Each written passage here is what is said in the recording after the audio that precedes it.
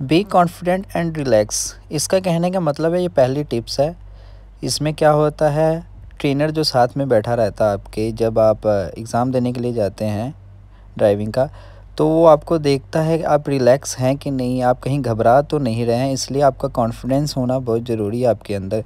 आप कॉन्फिडेंट रहिए और रिलैक्स होकर गाड़ी चलाइए, कोई टेंशन नहीं होगी। ट्रेनर वही समझ आएगा कि हाँ आप सही है। अब दूसरा पॉइंट क्या है? मेंटेनेंस स्पीड जो लिखा हुआ है। दूसरा पॉइंट आपकी टिप्स यही रहेगी कि आपको स्पीड का पूरा ध्यान रखना है इसमें। ये नहीं कि आप सौ की स्पीड में गाड़ी चलाएँ, वहाँ पे या अस्सी, नब्बे की स्पीड में गाड़ी चलाएँ।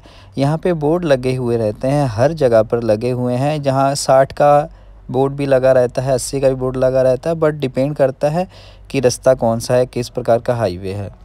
तो ज़रूर स्पीड को भी मेंटेन रखिएगा ताकि जो साथ में बैठा हुआ ट्रेनर है, उस चीज़ को देख पाए, आप सही तरीके से गाड़ी चला भी रहे कि नहीं। अब तीसरा क्या है? जजमेंट जजमेंट करना बहुत ही ज़रूरी है। अब किस चीज़ का जजमेंट कह रहे हैं वो? मान लीजिए हम लोग गाड़ी चला रहे हैं। हमारे राइट साइड में कोई गाड़ी आ रही है कि लेफ़्ट साइड में कोई गाड़ी आ रही है कि नहीं? इस चीज़ का जजमेंट करना बहुत ज़रूरी है। जजमेंट कैसे होगा? जो साइड मिरर होते हैं इन साइड मिरर के थ्रू या लेफ़्ट साइड या राइट साइड देखना ज़रूरी है। अब चौथा पॉइंट क्या है? Lane change. अब लेन चेंज कहने का मतलब क्या होता है? जब मान लीजिए हम किसी साइड रोड से आ रहे हैं और हाईवे में अटैच होना है हम लोग को, है ना? अब लाइन चेंज देखिए इसमें क्या है? मान लीजिए अगर हम लोग को राइट जाना है यहाँ से या लेफ़्ट जाना है, हम लोग को लाइन चेंज क्या है? दो लाइन चेंज एक साथ नहीं कर सकते हैं।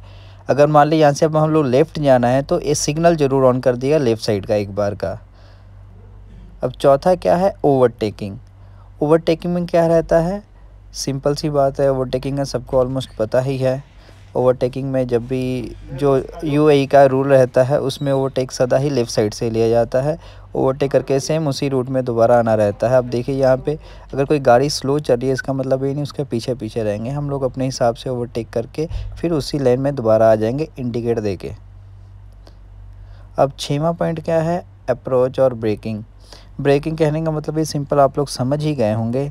ब्रेकिंग मीन्स हम लोग को ऐसे भी ब्रेक नहीं लगाना है कि पीछे वाली गाड़ी आपको नज़दीक आ जाए। हम लोग को ब्रेक वैसे ही लगाना है जैसे ब्रेक लगाना चाहिए स्लोली स्लोली ये नहीं कि हम लोग की गाड़ी सत्तर या अस्सी की स्पीड में है और अचानक से आप पूरा ब्रेक मार दें, ऐसे नहीं कभी करना चाहिए।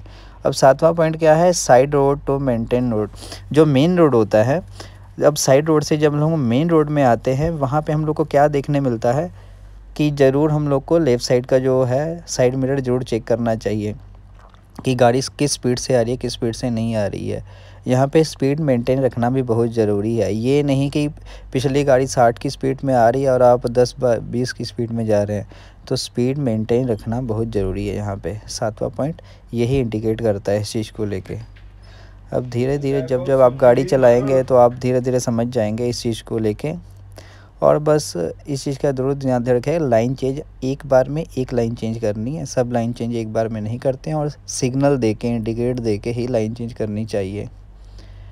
इस प्रकार आप देख ही पा रहे हैं धीरे धीरे करके हम लोग लाइन चेंज कर रहे हैं, लेफ़्ट साइड में सिग्नल ऑन करके ही लाइन चेंज की जाती है। अगर मेन रोड में आप अटैच होते हैं तो। इसी के ऊपर है, घबराना नहीं है, नीडर होके टेस्ट दीजिएगा, रिलैक्स होके। जैसे हर कंट्री में गाड़ी चलती है, वैसे ही यहाँ है। मैंने 10 से 12 मिस्टेक जो है नॉर्मल मिस्टेक जो होती है, छोटी मोटी, उसको अवॉइड कर देते हैं ट्रेनर बड़ी मिस्टेक मत करिएगा। अब आठवां पॉइंट है कंट्रोल और व्हीकल अब कंट्रोल करना बहुत ज़रूरी है व्हीकल को। अगर आपको कंट्रोल करना नहीं आता व्हीकल को तो चला के फिर फ़ायदा ही नहीं है। हर चीज़ में आपका कंट्रोल चाहिए। मतलब कि आगे पीछे सब ध्यान होना चाहिए आपका कि राउंड अबाउट में कहाँ से कैसे घूमना है, कौन सा व्हीकल आ रहा है, कौन सा व्हीकल नहीं आ रहा है। इस चीज़ की प्रॉपर जानकारी आपको होनी चाहिए। अब नवा पॉइंट क्या है? राउंड अबाउट राउंड अबाउट का बहुत ही बड़ा महत्व होता है। राउंड अबाउट का रूल होता है सदा ही राइट साइड से जाना चाहिए हम लोग को राउंड अबाउट में। तो हम कभी भी लेफ़्ट साइड से नहीं लेते हैं।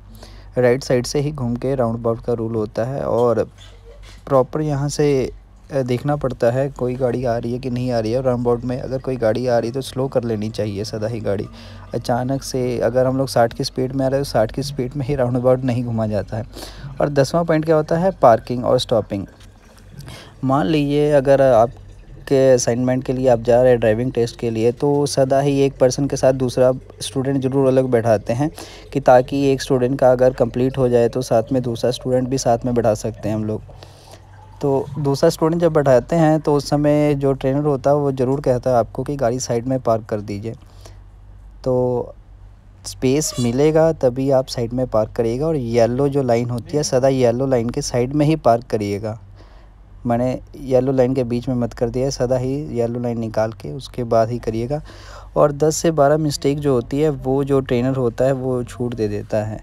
अब बड़ी मिस्टेक मत करिएगा छोटी छोटी मिस्टेक को तो वैसे ही छोड़ देते हैं, बड़ी मिस्टेक को नहीं छोड़ते हैं। तो रिलैक्स होकर गाड़ी चलाइएगा। अगर बाई चांस आप फेल हो जाते हैं तो कहीं ना कहीं आपकी, कहीं ना कहीं गलती बड़ी हो गई होगी उस वजह से। बाकी आप, मैं यही कहूँगा कि तालीम दोबारा से ज़रूर आप लोग ले लें ताकि आप अपने नेक्स्ट असाइनमेंट में पास हो जाएँ। और इसी तरह मेरा चैनल देखते रहिए और सब्सक्राइब करते रहिए कमेंट करते रहिए। कुछ पूछना हो तो ज़रूर कमेंट सेक्शन में कमेंट कर दिएगा